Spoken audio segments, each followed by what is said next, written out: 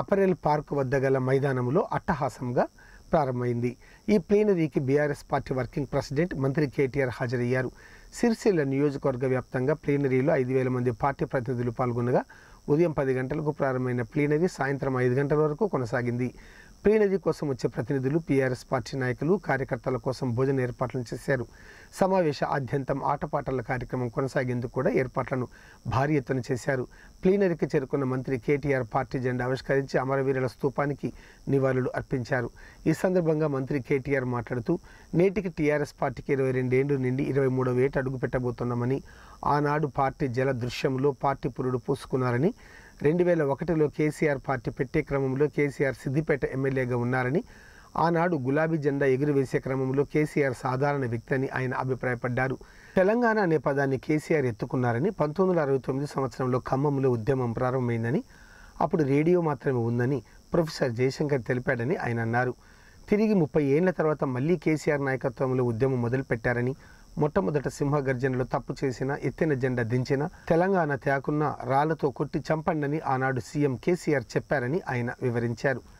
CM నాయకత్వంలో పనిచేయటం పూర్వజన్మ సుకృతమని సీఎం కేసీఆర్పై ఎంతో గొప్పగా ఆనాడు రాష్ట్రపతి ప్రణబ్ ముఖర్జీ వెల్లడించారని ఆయన తెలిపారు. గతంలో సిరిసిల్ల ఎట్లా ఉండేదో నేడు ఎట్లా అయిందని ఆయన సభికులను ఉద్దేశించి ప్రశ్నించాడు. రెండు వేల తొమ్మిదిలో నేను ఎమ్మెల్యేగా గెలిచిన తర్వాత యాభై లక్షల రోడ్డు కోసం మంత్రులు చుట్టూ చాలా తిరిగానని కానీ నేడు కోట్ల రూపాయలతో సిరిసిల్ల రోడ్డుకు ఖర్చు చేశానని ఆయన వివరించారు.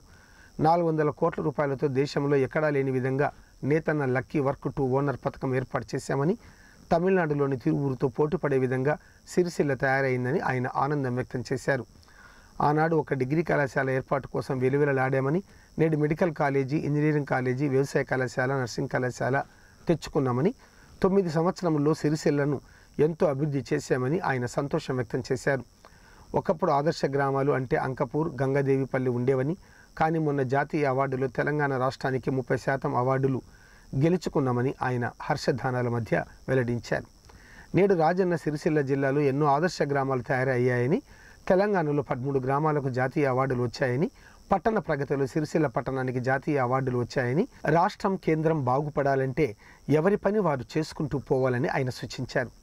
బీఆర్ఎస్ మారింది పేరు మాత్రమేనని డిఎన్ఏ మారలేదని ఆయన స్పష్టం చేశారు. రెండు వేల పది నుంచి రెండు వేల పద్నాలుగు వరకు గుజరాత్ రాష్ట్రంలో జరగని అభివృద్ధి జరిగిందని నరేంద్ర మోదీ పీఎం అయ్యారని ఆయన అన్నారు. మహారాష్ట్రలో రైతులు కేసీఆర్ వెంట ఉన్నారని రెండు వేల పద్నాలుగు సంవత్సరంలో అధికారంలోకి వచ్చిన నరేంద్ర మోదీ రైతులను పట్టించుకోలేదని ఆయన విమర్శించారు. చారిత్రాత్మక అనివార్యత కోసమే కేసీఆర్ జాతీయ నాయకత్వంలో వెళ్ళాడని కాంగ్రెస్ బీజేపీని తప్పకుండా ప్రజలు బండకేసి కొడతారని కేసీఆర్ గాలిగోటుకు సరిపోయే నాయకుడు ఎవరూ లేరని ఆయన దుయ్యబట్టారు. అన్ని కులాలు అన్ని మతాల వారు కేసీఆర్ పట్ల సంతోషంగా ఉన్నారని ఆయన తెలిపారు. తెలంగాణ ఉద్యమంలో తన వాణితో బాణితో మాటతో పాటతో మనందరినీ కూడా ఉర్రూతలూగించిన గౌరవనీయులు పెద్దలు మొన్ననే ముఖ్యమంత్రి గారి ఆశీర్వాదంతో శాసన మండలికి గోరే టెంకన్న గారి తర్వాత మరొక అద్భుతమైన కవి గాయకుడు అన్న దేశపతి శ్రీనివాస్ గారికి ఒకసారి గట్టిగా చప్పట్లతో వారికి కూడా అభినందనలు. వేదికపైన ఆశీనులై